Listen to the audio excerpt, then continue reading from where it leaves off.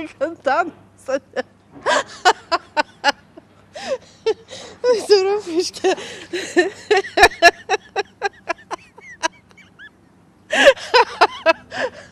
tai, tai tu klausyk šitą, galėsi pasinaudoti nors išsaugok šitą, žinai, tik įdėsi metus. oi, oi, oi. Nu, žinau, gerai, tu čia pavarėjai.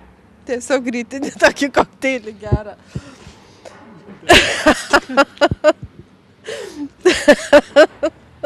Baigaliau.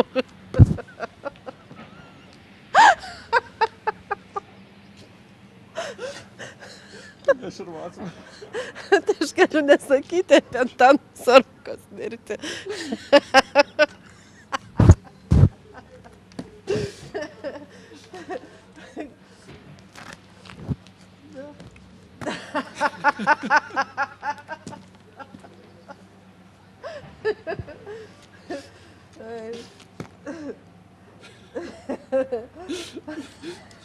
Gaila surukos.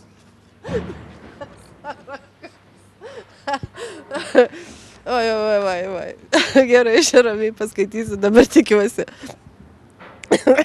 Baig tik nesijuok. 3-4.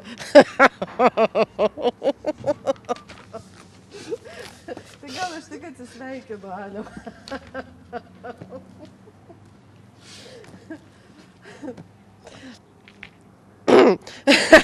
Baig, 3-4 viską sukaupiau. Susikaupiau.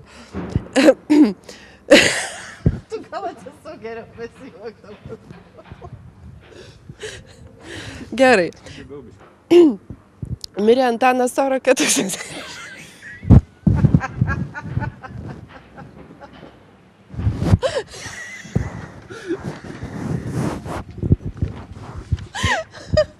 Oi, tu kurde. Čia buhalteriai žiūri, bus kaip išprotėjusius. Sakys visai nukvako hebra. Mirė Antanas Soroka 1100. Gerai, viskas.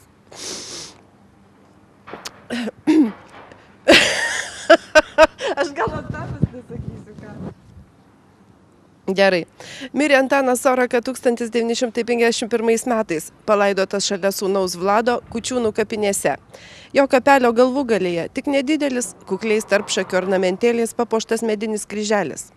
Šiandien tiek. Iki susitikimo, mėlyjeji, kitoje dzūkiškos palėtės laidoje. Labai kažkaip greitai suvarėjai.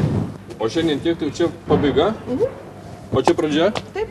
Tai kaip aš tau atskirsiu? Reikia pauzų. Nu gerai, pauzę padarysiu.